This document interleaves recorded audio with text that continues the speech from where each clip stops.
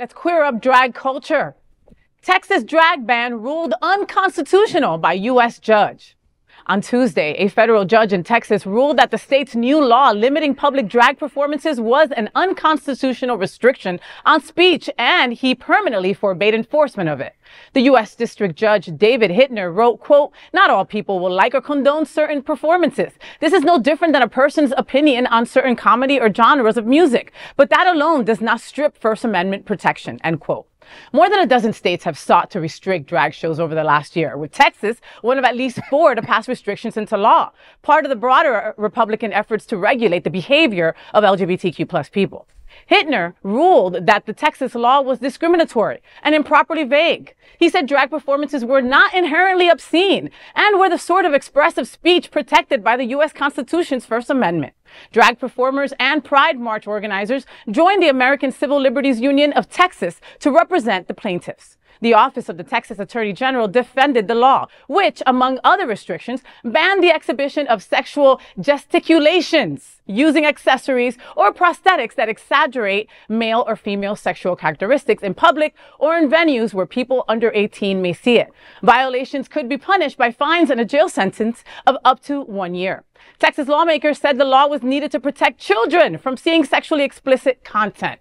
You know, me and Cal were just talking about this before the show, right? Where is there a drag show? It's usually at midnight or 1 a.m. at Alibi. Yes, no kids should be there because it's 1 a.m. at Alibi, okay? So, I mean, it's just incredible how this is. Thank God that somebody spoke common sense, you know? The reality is that if you don't like drag, don't watch it. If you don't like gay people, don't sleep with us. It's really, really simple. Sorry, I get excited. Okay. Sorry. But I think this is also a wake up call for the LGBTQ plus community to use the Constitution to our advantage and to for our benefit. For our benefit. You know, we need to fight back because if they're using the Constitution to defend their rhetoric, then we need to use the Constitution to defend, you know, what they're trying to do to us. Yeah. Mm. Any thoughts? Some of my favorite lovers are straight. Does that help? Yeah. you know, I, I, I want to point out um, this is really, really um, um, a great moment. It is. And an important moment. And this, uh, this uh, decision uh, by the federal judge is, uh, is not going to get all of the attention that it should, especially in traditional media. And I think it is because there's a lack of understanding of what this judge has done. Let me try to um, uh, peel it apart a moment. Um, you should be hearing this federal judge's decision as a pendulum of how things swing in America and in, in our laws in terms of what we watch in, in city commissions, in our school boards, in our state houses. Uh, Uh, a pendulum swings. And over the last couple of years in Florida, we have seen this radical pendulum swing going on to protect parental rights and argue that parents are just being destroyed in their decision making, etc. But really what is at the heart of these decision making arguments is that we want more power and we want more money and we're going to guise it in that. The governor has been largely successful on that. Uh, Don't Say Gay was the first in installation of that, but many other things. Now in trans, the expansion of Don't Say Gay, what they did on drag uh, this spring. That is a pendulum. The pendulum in Florida has been swinging. This federal judge in Texas watches the pendulum and goes, oop, stop.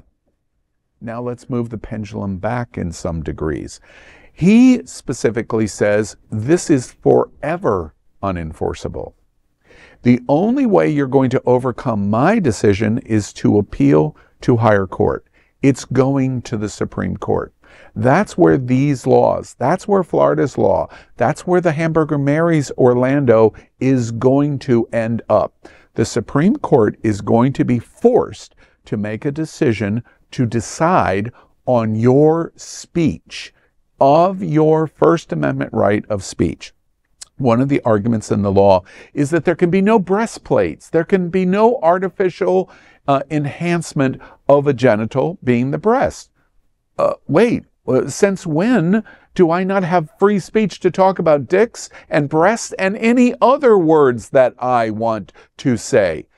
The pendulum swings to go, oh, no, no, you shouldn't have. Uh, the federal judge says, no, let's pull it back to center and cannot be enforced because it's a constitutional free speech violation. Go to the Supreme Court. Yeah. Make them decide.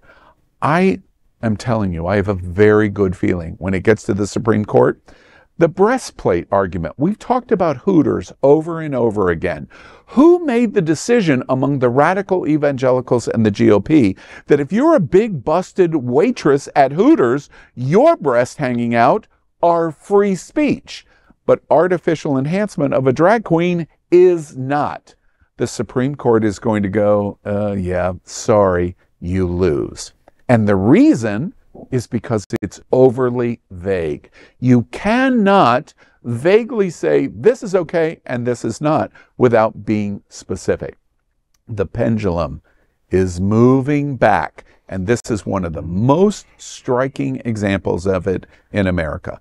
For all of those radical GOP and evangelicals that are trying to take on drag queens, oh, I can just hear it the train whistle in the distance. It's blowing, and that train is coming straight for straight for you. And this ruling is the first of many that are going to come to this conclusion. Your days on attacking drag queens are coming to an end.